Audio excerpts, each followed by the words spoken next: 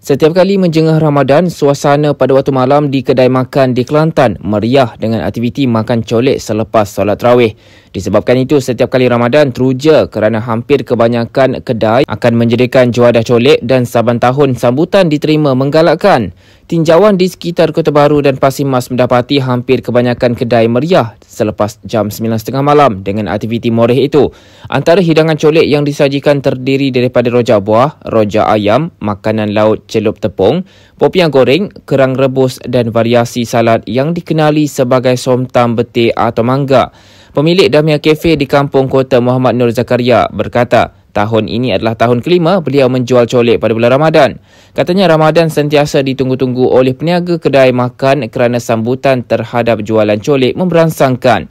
Beliau yang turut terkenal saban tahun apabila menyediakan pakej buffet colek berkata, tahun ini kaedah sama dilakukan iaitu dengan mengenakan harga RM10 seorang bagi makanan dan minuman.